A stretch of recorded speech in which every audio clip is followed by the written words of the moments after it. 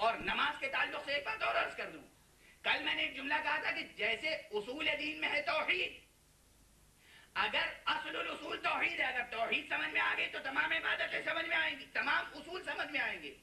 इसी तरह इबादतों में फरूदीन में असल उसूल है नमाज़। अगर नमाज़ में समझ में आ गई तो सब कुछ समझ में आता चला जाएगा।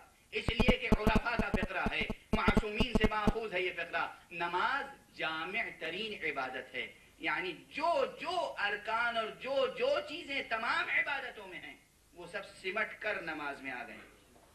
ज़ाहिर है कि सिर्फ़ जुमला कह रहा हूँ तशरी के लिए किताबें जाकर देखिएगा या उलमा से पूछिएगा कि नमाज़ में हज का कौन सा अंसुर है? नमाज़ में रोज़े वाला कौन सा अंसुर है?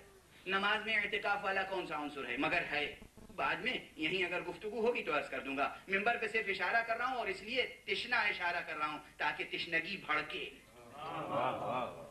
हदीस पैगंबर है, हदीस मासूम है अलजूर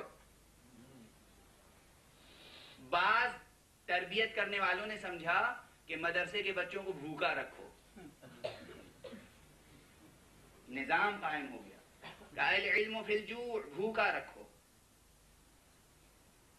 जब पेट खाली होगा तो इन्हें याद होगा सबक ऐसा नहीं है। अल इल्म फिलजूर यानी खुद इल्म की भूख होना चाहिए।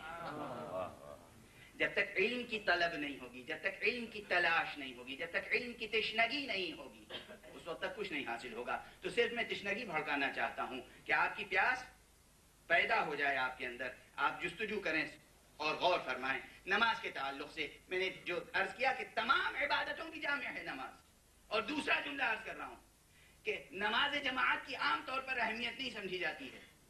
जहाँ जहाँ भी मुमकिन हो जमात कायम कीजिए। अपने घरों में जमात कायम कीजिए। बाप आगे खड़ा हो जाए, पीछे औलाद खड़ी हो जाए, जमात हो जाएगी। अपने घरों में एक गोशा मुकर कीजिए जहाँ नमाज़ पढ़िए। और फरमाया आपने, जिसे मस्जिदुल बैत कहते हैं, कि वो आपके घर की मस्जिद कहलाए। अहकाम मस्जिद उस पर जारी नहीं होंगे, मगर वो मस्जिद बैत होगी। आप वहाँ नमाज़ पढ़ेंगे। क्यों? नमाज़ जमात की खसूसियत, सिर्फ़ एक खसूसियत, अहकाम तो मसाइल में पढ़िएगा। अहकाम मैं नहीं बयान कर रहा हूँ। एक आरिफ का जुमला है कि नमाज़ बाजमात एक इंसान कामिल की नमाज़ के बराबर है। इंसान कामिल की नमाज़ समझते हैं आप? इंसान कामिल की नमाज़। इंसान कामिल वो कि जो कभी गफलत नहीं बरतता। मैं हूँ कोई है, मौलवी, आलिम, मुश्तहिद, जाकिर, खतीब, आम मोमिन। बड़ी तवज्जो और बड़े एहतमाम से नमाज़ शुरू की। अगर तकबीरतुल एहराम के वक्त पूरी तवज्जो है तो हमद में खत्म हो गई। हमद में पूरी तवज्जो है तो रुकू में खत्म हो गई। रुकू में तवज्जो है तो सजदे में नहीं रही। सजदे में तवज्जो है तो तशहुद में नहीं रही। इंसान है ना, जहन कहीं ना कहीं इधर उधर हुआ। आदतन जबान दोहरा रही है ज़िक्र को।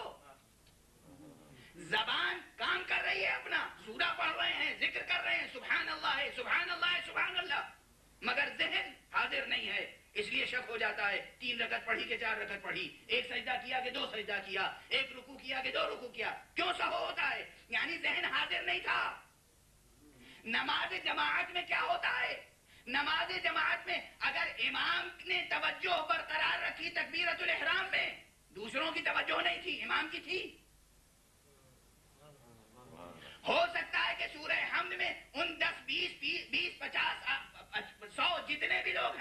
किसी की तवज्जो रुकू में बरकरार है तो किसी की सज्जे में।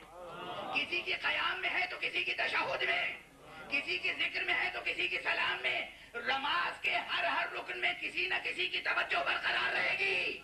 और इस तरह पूरी जमात एक इंसान कामिल की नमाज़ के बराबर होगी। सलावात पढ़े मोहम्मद